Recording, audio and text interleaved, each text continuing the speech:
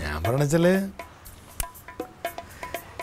ഈ എനിക്ക് പണ്ടേ ഒരു ആഗ്രഹം ഉണ്ടായിരുന്നു. പക്ഷെ പിന്നെ എപ്പോഴും പറയാൻ പൈസ പൈസ നമുക്കൊരു നിശ്ചിത വരമല്ലേ ഉള്ളത്. എന്തോ ആഗ്രഹം? അതായത് ഇതിപ്പോ ഇവിടെ എന്നും കിടന്ന് നമുക്ക് എപ്പോഴും കൊച്ചിനെ അവളെ കാണുന്നൊക്കെ വലിയ ഇഷ്ടം തന്നെ. ഏട്ടനോട് ഞാനൊരു കാര്യം തുറന്നു പറയട്ടെ?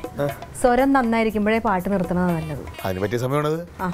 പിന്നെ വേറെ സ്ഥലം കുടുംബ വീടിന്റെ ഒരു കാര്യമുണ്ട്. അമ്മാവന്റെ ആ കുടുംബ വീടുണ്ടല്ലോ അത് അമ്മാവൻ മിക്കവാറും അത് അതാണ് ഇനി നമ്മൾ നോക്കേണ്ടത്. അത് അത് കിട്ടിക്കഴിഞ്ഞാൽ നിന്റെ ആഗ്രഹത്തിന് അവിടെ നമ്മൾ കണ്ടംപററി വീട് വയ്ക്കാം പക്ഷേ ഈ വയലിൽ ഇത് വെക്കാൻ പറ്റില്ല കുടുംബ വീട് നമുക്കാണ് കിട്ടണമെന്നുണ്ടെങ്കിൽ അത് നമുക്ക് അത് അവിടെ നമുക്ക് വേറെ ഈ പറഞ്ഞ കണ്ട അത് പൊളിച്ചിട്ട് കണ്ടംപററി സ്ഥലത്ത് അടിപൊളിയായിട്ട് വെക്കാം.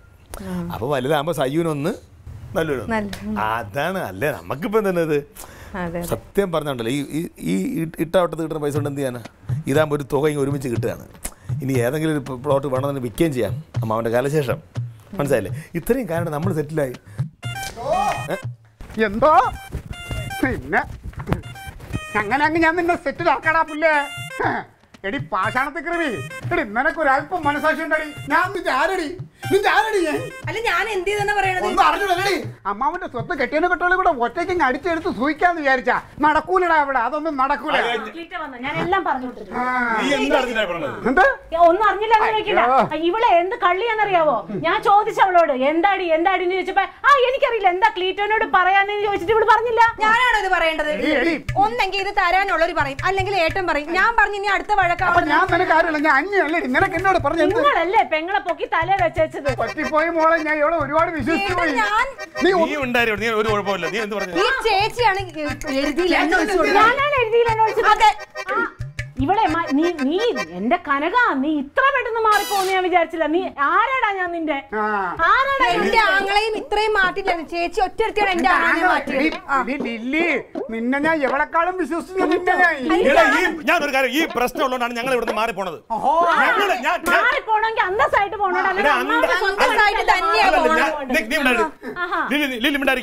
ഞാനൊരു കാര്യം പറയാം. രണ്ടുപേരും രണ്ടുപേരൊക്കെ പറയാണ്.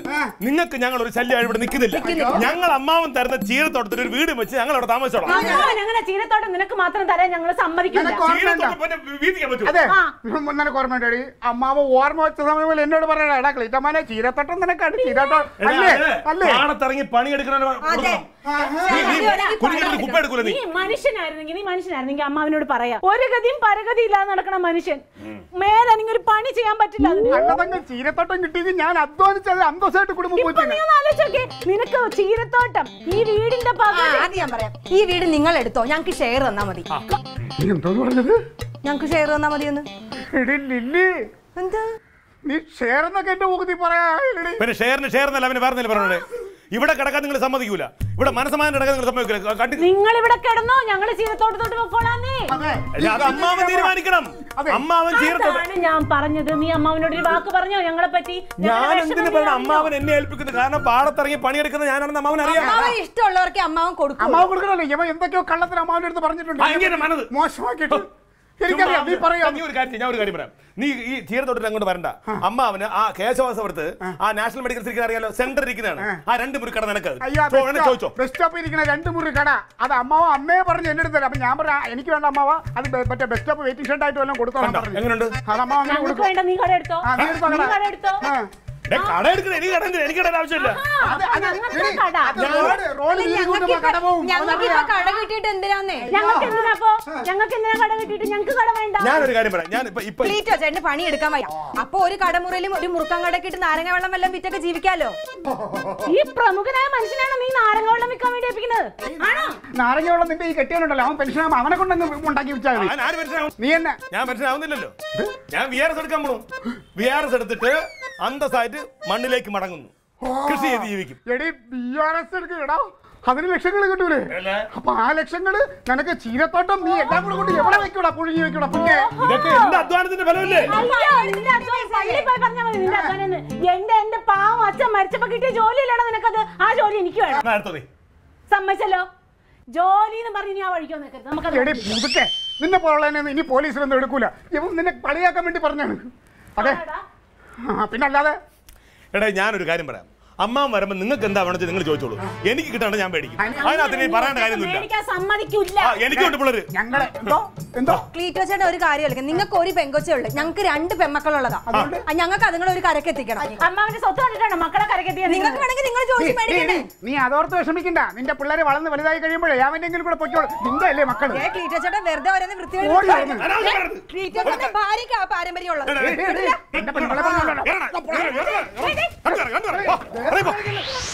ഞാനൊരു കാര്യം പറഞ്ഞേക്കാം. മേലിൽ ഇതിനകത്ത് കയറിയ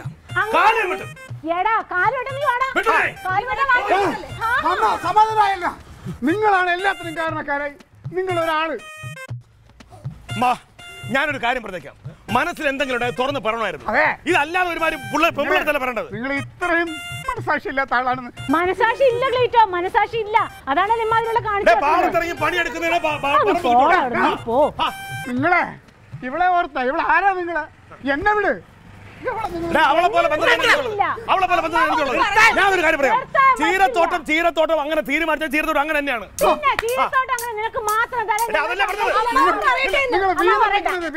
എന്നോടൊരു വാക്ക് പറഞ്ഞു. കേശവാസവർത്തുള്ള മെഡിക്കൽ സ്റ്റോർ ഇരിക്കുന്ന ബിൽഡിംഗ് നിനക്ക് തന്നെ. അത് നീ പുഴുങ്ങി ഞാൻ പോയപ്പോ ചോദിച്ചതായി മനുഷ്യരോട് എന്താന്ന്? അപ്പൊ ഉഴിച്ചിൽ നടത്താൻ പോവാന്ന്. കള്ളത്തരം കാണിച്ചിട്ട്. അമ്മാവൻ പറയാൻ? അമ്മാവൻ പറയില്ലല്ലോ. എന്റെ അമ്മ പറയട്ടെ. എന്റെ അമ്മ വരട്ടെ തങ്കം.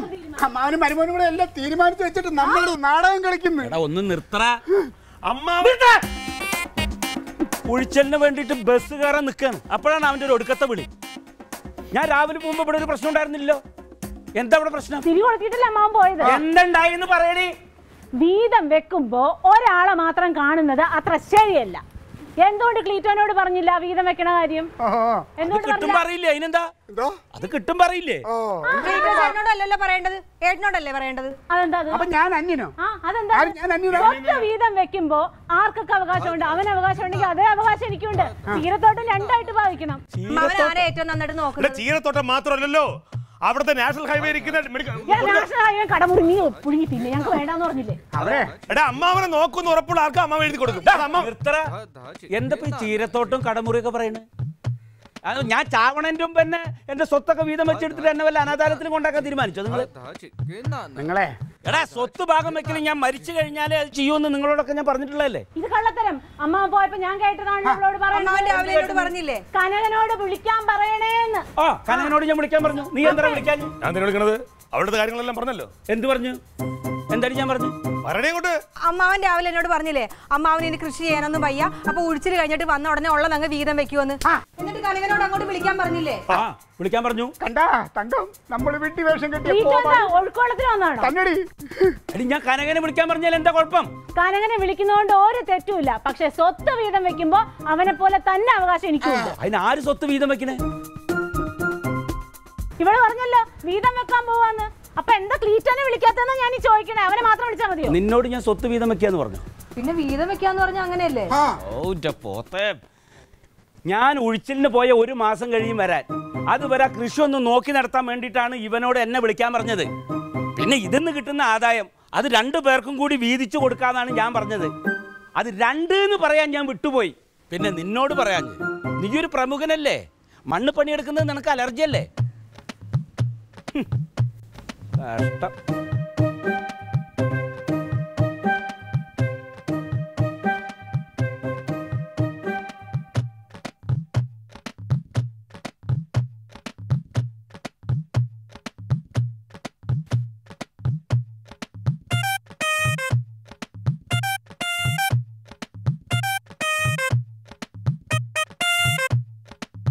എടി, ഒരു കാര്യം കേട്ട് ആ കൃത്യമായിട്ട് എന്താണെന്നത് മനസ്സിലാക്കിയിട്ട് വേണം പറയാനായിട്ട്. നീ ഒറ്റ ഒരു കാരണം രണ്ട് കുടുംബങ്ങൾ തമ്മിലാണ് ഇപ്പൊ പിരിഞ്ഞത്. അറിയാണത് ഏട്ടാ അമ്മാവൻ പറഞ്ഞപ്പോ ഞാൻ അങ്ങനെ വായി തോന്നാത്ത കാര്യങ്ങൾ മുഴുവൻ അവളുടെ വിളിച്ചു ഈ പറഞ്ഞു. ആരുടെയെങ്കിലും ബാക്കിൽ പോയിട്ട് എന്തെങ്കിലും കാര്യം കേട്ടോ അത് എന്താണെന്ന് ബോധ്യമായിട്ട് അത് എന്നിട്ട് ചേട്ടൻ എന്നോട് പറയാവൂ. കേട്ടാ? അല്ലാതെ വള്ളിയും പുള്ളിയും അവിടെ നിന്ന് ഇവിടുന്ന് കേട്ടിട്ട് വന്നു ഇത് പറയൂടി പറഞ്ഞു കേട്ടിട്ട് ഇറങ്ങി ആവശ്യമില്ലാത്ത അതല്ല ഞാനൊരു